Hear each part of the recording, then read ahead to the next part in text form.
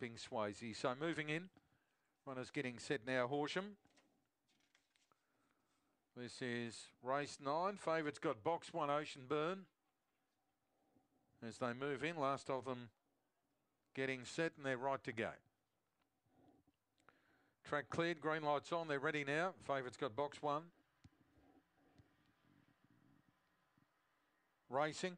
Ocean Burn only fair to go. Hartley Bale won the start, going out fast. Oriental Ophelia is going to lead Hartley Bale around the first corner, and they race clear now to Moonlight Grand, and a bit wider out would have been, or further back in the field, Ocean Burn, Western Bale, and then Zipping Swayze and Blackpool Blade. In the straight, Oriental Ophelia, the front runner. Hartley Bale three lengths away next, then Moonlight Grand, but Oriental Ophelia clear and beats Hartley Bale. Third Moonlight Grand, then Ocean Burn, followed by Blackpool Blade, Zipping Swayze and Western Bale. Run their 20. 23.46.